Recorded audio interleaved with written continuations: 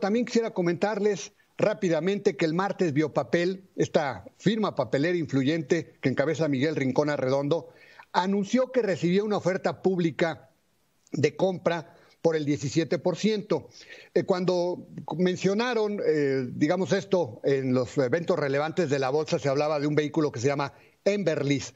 Y por ahí los que periodistas que luego no investigan decían que era una entidad financiera y bueno, tantas cosas que vi que dije, bueno, no es posible. Yo mejor no escribí porque no tenía la información, yo no conocía Emberlis.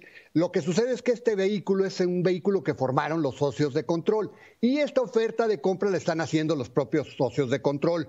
Y bueno, lo que están tratando los socios de control del grupo Biopapel es recoger el paquete que está diluido en bolsa, eh, ya que el comportamiento de la acción ha sido muy, muy malo eh, bueno, no se ha movido mucho, no malo, no se ha movido mucho, eh, plano.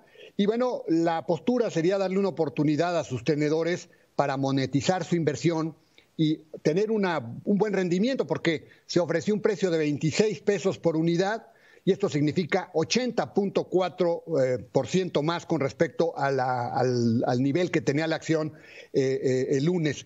Y bueno, la condición es que la familia Rincón pueda obtener más del 10% de lo que está en el mercado, de lo que está pulverizado en el mercado, para que ellos lleguen al 95%. El periodo vence el 10 de octubre, Scotiabank es el líder. Y bueno, de tener éxito, Pedro Biopapel podría deslistarse de la Bolsa Mexicana de Valores.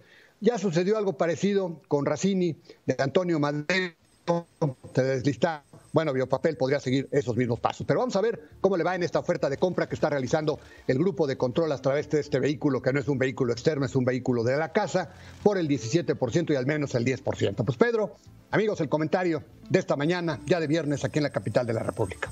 Dos temas más que quería yo ver contigo. Uno, en la baja de un cuarto de punto porcentual, 25 puntos base de Banco de México, que sigue la tendencia de lo que te decía yo hace unos hace unas semanas de que vendrían más bajas. Yo creo que vienen otras dos, mi querido.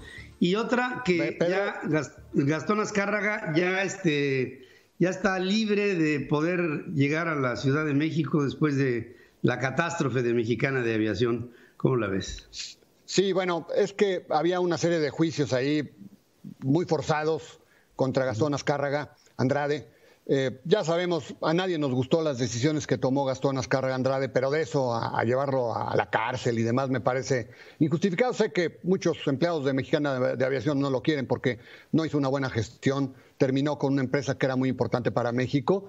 Y, Pero bueno, pues ahí está esta noticia, Pedro. Y en torno al tema de las tasas de interés, Pedro, debo darte crédito. Tú me habías dicho que podían llegar las tasas al 3 y yo te dije que no. Bueno, pues te debo dar crédito porque ayer justamente el BBVA volvió a reiterar su pronóstico de que va a seguir cayendo la tasa y que se va a situar sobre un nivel sobre 3 arribita del 3% en las próximas semanas, o sea, antes de que termine el año. Yo creo que todavía es una historia que está por escribirse. Eh, hay quien dice que hay margen para que Banco de México siga subiendo sus tasas, pero eh, pues ya lo habíamos comentado, Pedro, eh, el gran tema es que al final de cuentas eh, pues la inversión de portafolio se puede desmotivar porque México ya no es de los líderes en lo que es la rentabilidad para los inversionistas extranjeros, aunque claramente esto no ha importado porque en las últimas semanas hemos visto un incremento en los portafolios de, inversiones de portafolio, han llegado a contracorriente de lo que había sucedido, a pesar de que ha bajado la tasa. Y bueno, eh, pues además, pues ya sabemos, la economía está muy caída y en ese sentido se está buscando empujar la economía a través de las tasas de interés y en ese sentido podría ser que, pues al final de cuentas, los eh, miembros de la Junta de Gobierno del Banco de México decidan bajar las tasas a niveles del 3% o arribita del 3%. Como bien nos habías dicho, Pedro, eh, debo darte tu crédito y lo vuelvo a hacer, te doy tu crédito. Eh, yo decía que no, pero bueno, pues para que veas. Y BBV estaba contigo, ¿eh? Hace algunos días te lo quería comentar porque vi ese reporte de BBV y dije, ah, mira, como Pedro, justamente. Bueno, pues ellos estaban contigo y ayer en otro reporte reafirman esa posición. Vamos a ver qué sucede, Pedro. Querido amigo, te abrazo, que tengas un extraordinario fin de semana, Alberto. Gracias. Igualmente, un gusto, ¿eh? Como siempre. Como siempre.